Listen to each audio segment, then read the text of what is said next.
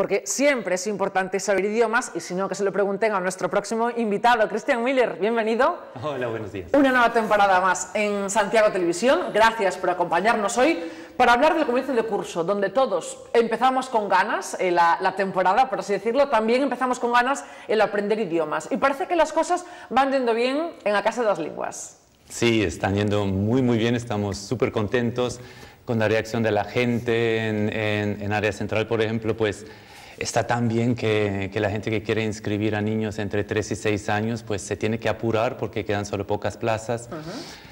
Es decir, la gente, eh, pues eso, está, está valorando muy bien nuestro trabajo y y eso siempre, hombre, eso, para eso estamos, para eso trabajamos eh, muchas horas al día y si ves que esto, esto tiene este resultado, pues te alegra muchísimo. Claro, la gente valora vuestro trabajo porque eh, sois dos filólogos, los que trabajáis allí, tenéis un método de enseñanza eh, particular donde todos trabajáis conjuntamente. Cuéntanos un poco cuál es vuestra forma de proceder y de enseñar también, que es lo importante y lo que a los alumnos realmente nos interesa. Sí, yo pienso que, que este pues, se puede llamar este éxito que tenemos, uh -huh. eh, está basado simplemente en ofrecer muy buena calidad. Eh, creo que eso es la base en general. Una empresa siempre tiene que intentar invertir en mejorar la calidad, eh, pero la calidad, claro, tiene que empezar desde arriba, es decir, desde la dirección. Uh -huh. como tú dices, nosotros somos filólogos de filología alemana, que a mí me enviaron de Alemania y vine aquí a trabajar en la USC uh -huh. durante cinco años. And pude conocer la, la situación de los eh, estudiantes que los forman para ser profesores. Me di cuenta cómo es la situación, dónde hay a lo mejor carencias. Eh, mi mujer también es filóloga y pedagoga, entonces ella se encarga de toda la programación de las eh, clases de los niños y de los bebés, porque también damos clases a bebés, uh -huh. que vamos a hablar más tarde, sí. en, eh, hasta, hasta los 7, 8 años.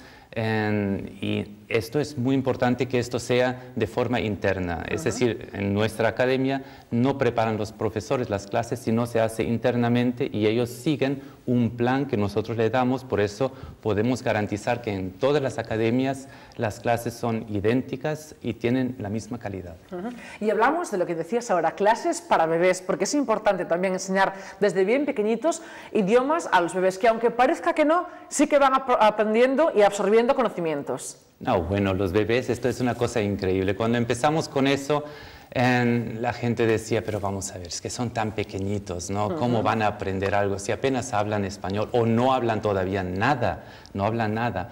Y, y si ahora lo ves, hombre, nosotros, claro, sabíamos cómo funcionaba, pero, pero para transmitirlo y para hacerlo entender a la gente, lo mejor es que lo prueban y que lo vean. Claro. Porque ahora vemos, por ejemplo, que los niños que, que estuvieron durante un año, dos años con nosotros, ahora que pasan al curso de los, de los niños ya de tres años, es que es como comparar un, un ave con un tren tradicional, uh -huh. es que pillan todo la primera y, y es, es, un placer verlo. Además estamos viendo eh, ahí, Cristian, imágenes de esa aula que tenéis eh, preparada, habilitada para los más pequeños de la casa, que es como un centro de juegos, por así decirlo, ¿no? Ellos están cómodos jugando, pero a la vez, obviamente, aprenden eh, idiomas. Sí, pero no, no es como una ludoteca o algo uh -huh. así donde los niños van simplemente a jugar.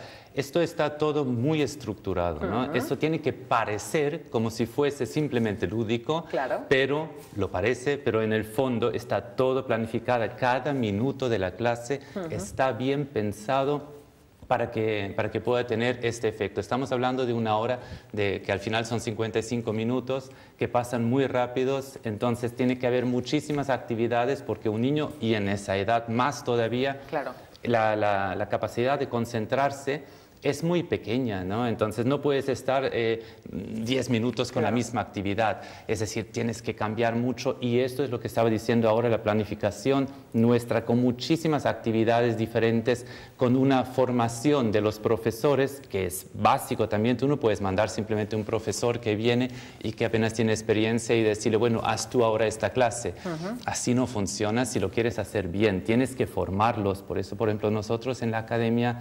Eh, cada viernes tenemos reunión donde o preparan sus clases o los formamos, hacemos una sesión de formación de profesores que dura dos horas, que es para los profes pagadas como si fuesen eh, a dar clases. Eh, tenemos una persona solamente para la profesión, para la, formación de los profesores que trabaja estrechamente con nosotros. Es esa inversión que decía que tiene que funcionar y que luego parezca como si fuese un juego. ¿no? Eso es como en todo, como en la música también. Un músico donde realmente tienes la impresión que no se está esforzando, que lo está haciendo como así nomás. Hay mucho trabajo detrás para llegar a esta calidad. Claro. Además, hablamos de las clases para los más pequeños, pero en la Casa de las Lenguas todos somos bien recibidos, mayores incluidos también. Por supuesto. Porque tenéis exámenes también preparatorios de diferentes niveles de diferentes niveles y de diferentes idiomas. Es que es, siempre lo mismo. Por eso es a casa de las lenguas. Por supuesto, esto es un plural, ¿no? Entonces, eh, nosotros no damos solamente inglés y no damos clases solamente a niños. es decir, nosotros tenemos una cierta fama, esto mm, por los motivos que, acabo de decir, pero eh, con los niños, pero estamos dando clases para niños mayores, para adolescentes, para, gente adulta, preparando exámenes. Somos un centro preparador oficial de los exámenes de Cambridge. Damos, eh, preparamos también los exámenes para alemán, para francés, para todas las edades. Así que todos bienvenidos y por supuesto no que se crea, bueno, hacen inglés, pero alemán y francés lo harán así. No, somos los dos dueños, somos filólogos alemanes. ¿No? Entonces, es un centro también especializado en eso, en, alemán, en francés y en muchas más cosas que solamente las clases de niños. Porque además de inglés, eh, francés, alemán, vais, por ejemplo, más idiomas. Damos también, por ejemplo, chino para niños. Y una cosa que, nos encanta, porque, hombre, para, nosotros que no dominamos tampoco el chino, en el proceso de aprendizaje viéndolo en los niños, cómo lo aprenden con profesoras chinas, por supuesto, es una cosa impresionante. Si después de tan poco tiempo ya van entendiendo las instrucciones, la, profesora dice algo y ellos reaccionan, cogen, por ejemplo, que se dice, cógeme el, 8 azul, pues lo cogen y tú dices, ¿cómo lo entienden? Porque eso es lo que a nosotros nos cuesta los tonos en chino, ¿no? que, que todo suena un poco igual. Pues fenomenal. Estas cosas se tienen que aprender cuando los niños son pequeños, de entre, entre los seis meses que los cogemos ya, aunque ahí vienen junto con los padres hasta, los, hasta los tres años, em, hasta los diez años, que ahí es donde más o menos termina esa capacidad de aprender un idioma de forma natural y de esta manera también cogiendo el, el acento nativo. Esto es la gran ventaja que tenemos a esta edad y esta ventanita lamentablemente se va cerrando más tarde, em, pero entre más idiomas hemos aprendido hasta, hasta esta edad o tenemos por lo menos noción de ella, entonces mejor, porque ya tenemos un abanico de, de sonidos, de fonemas, que si aprendemos luego unos nuevos, es más fácil cogerlos. Si siempre tuvimos solamente el mismo y escuchamos siempre los mismos sonidos, cuando escuchamos otro que es parecido, no lo sabemos distinguir. Pero si ya tuvimos este input ¿no? Y, y, los niños han aprendido y cogen todo porque graban todo, es esa capacidad que tienen, entonces más tarde es mucho más fácil. Y no va a alcanzar, siempre lo digo, no va a alcanzar más tarde decir sé inglés como algo muy especial. Wow, sé Dentro inglés. De unos años eso no va a ser nada. No, el inglés va a ser básico. Va a ser absolutamente básico. Es decir, si no sabes inglés, lo que pasa es que estás fuera del juego, ya prácticamente no puedes participar.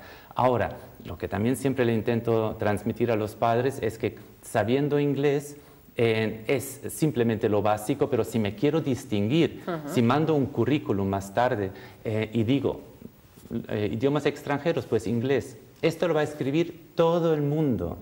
Si me quiero distinguir, tengo que poner alemán, chino. Entonces sí, porque fíjate, si mandan un currículum eh, con, con, el mismo expediente académico, varios estudiantes, y todos saben inglés, pero uno pone, yo sé inglés, pero también sé alemán y chino y, quizás francés, pues ¿a quién van a coger? Hay que apostar por también el conocimiento de otros idiomas, en este caso en la Casa de las Lenguas, porque por si no nos viene bien un sitio, tenéis tres academias a donde podemos ir y podemos escoger diferentes horarios y diferentes eh, localizaciones en Santiago para que la que nos venga mejor o la que nos coja más cerca de, de casa o del trabajo.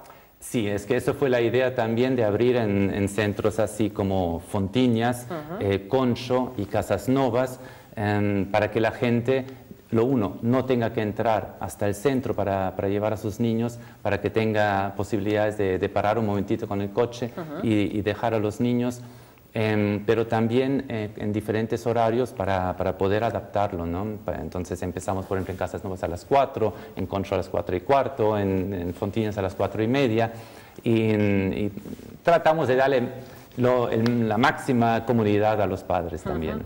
Pues gracias, Cristian, por ese trabajo y volveremos pronto a vernos en este Santiago TV para seguir hablando de más actualidad que nos traéis desde a Casa de las Lenguas. Gracias. Muchas gracias a ti. Buenas tardes. Hasta luego.